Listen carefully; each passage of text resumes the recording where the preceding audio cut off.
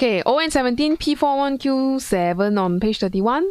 You just need to know how to recognize a pattern. So you look at this circuit. Is this an inverting? Yes, it is an inverting amplifier. How you know? Output feedback to here. Okay, and this is zero point between the input and output. Okay, by reference to properties of op-amp, I explain why P is virtual earth. What is virtual earth? Zero volt. So at this point, I'm going to go really fast because we just talked about it like few minutes ago. Go rewind and see. Four marks for this. Eh, you must you must go and memorize what is virtual earth if you don't know. So the first point is that the open loop gain of the op amp is very large, or you could say infinity.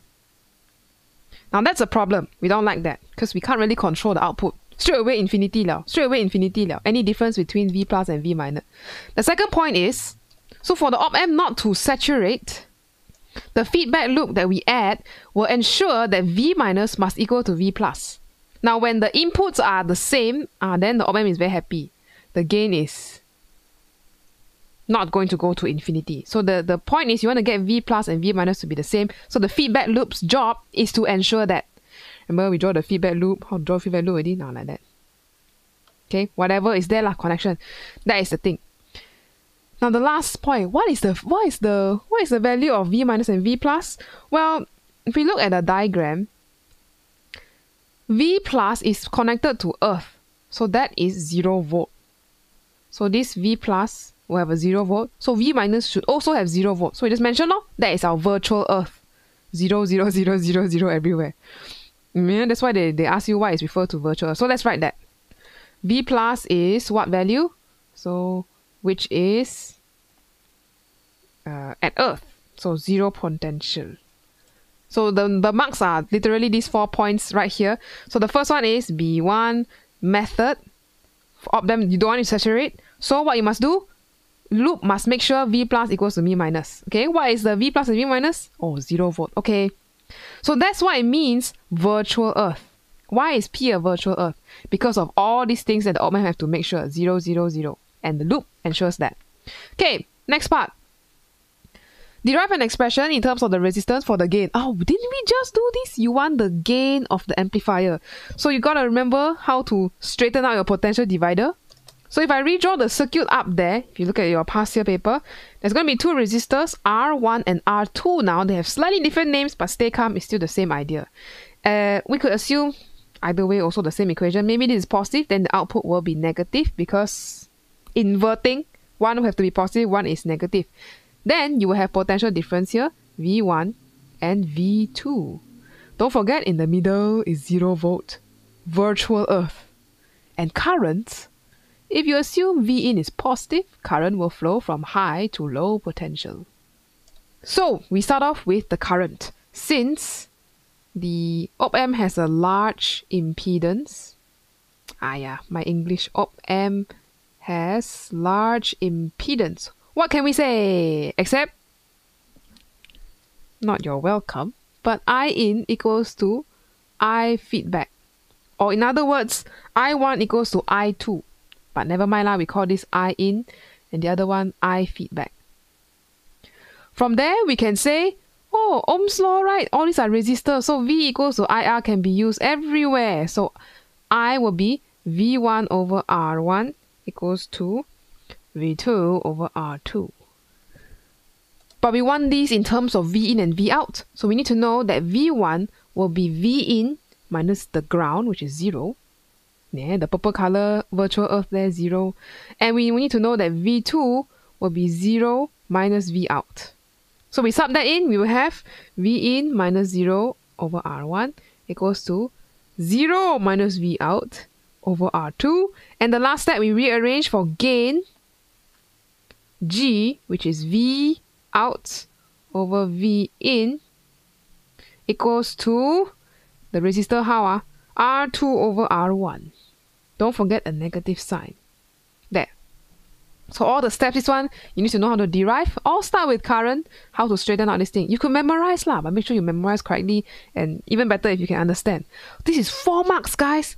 Four marks. So the first mark is if you know large impedance. Ah, one mark. Then you know the current will be the same throughout this entire section from V in to V out. Okay, that's one mark. Third one, you know how to sub in. You get V in and V out into the equation because you want that for gain, remember? So that's another mark. And lastly, you get the ratio of this, R2 over R1. Nice. That's the last part. Ding, ding, ding. This is the one I want to focus more on. The graph. How to sketch a graph, people always wrong one. The circuit the ratio is R2 over R1. Uh, and they give us 4.5. What is this 4.5? This is the gain. Ew. Okay. So we already know the gain. Gain is 4.5. What does that tell us? The graph will be 4.5 times bigger amplitude. But how do you draw? You have to be very, very careful. This graph shows the input potential. This is a signal, not a sine wave, but a, a graph like this. And they want us to do what? Show the variation with time of the output potential. So we have V in, we need to use this to sketch V out. Now, how do we do this and make sure we don't get it wrong? First thing you need to know is what gain is. Gain is V out over V in. And they just told us it's 4.5. But don't forget, it's actually negative 4.5 because it's an inverting amplifier. They didn't put the 4.5 there, they, they hope that you know lah.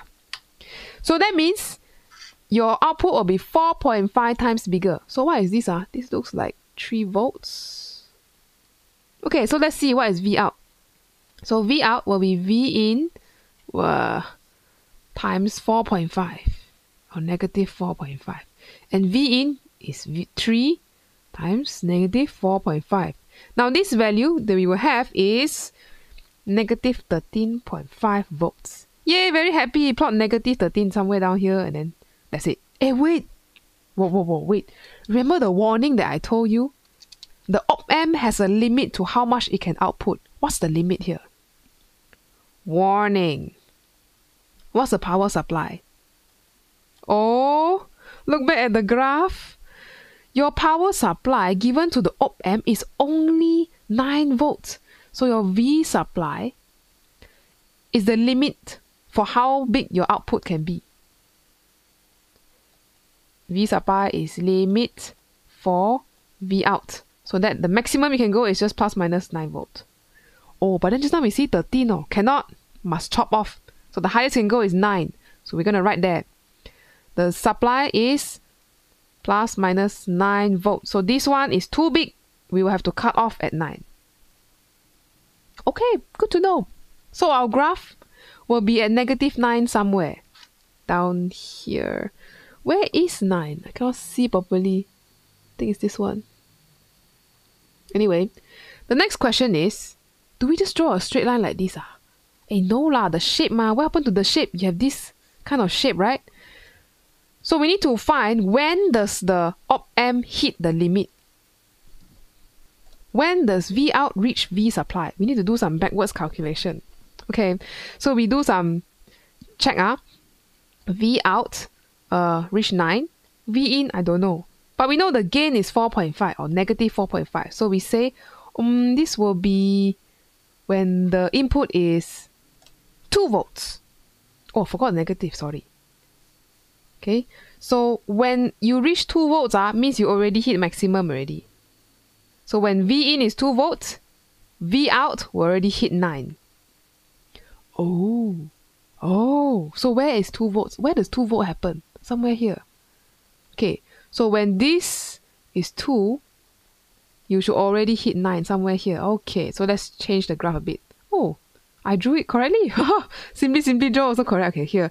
So this is when you hit 9 volt, which is the limited by the power supply. Cannot go bigger than that now. Have to chop off.